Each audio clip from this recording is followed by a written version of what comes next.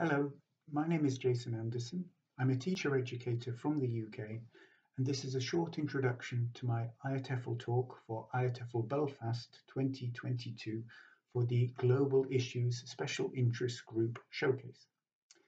The IATEFL talk is called English Language Teacher Expertise in India, a participatory case study.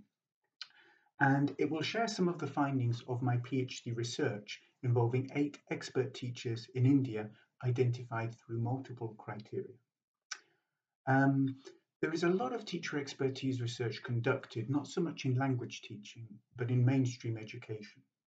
Um, and about 100 or so studies exist, including mainly from North America and Western Europe, and more privileged contexts are in China.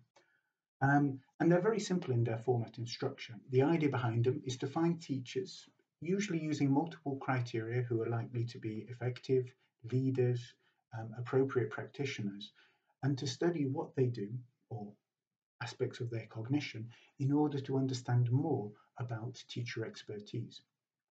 Unfortunately, as nearly all of these studies have been conducted only in the global north, in more privileged contexts,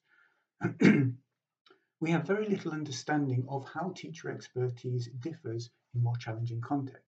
And indeed, some people would assume that teacher expertise can't exist in challenging contexts because of those challenges. They're wrong, of course.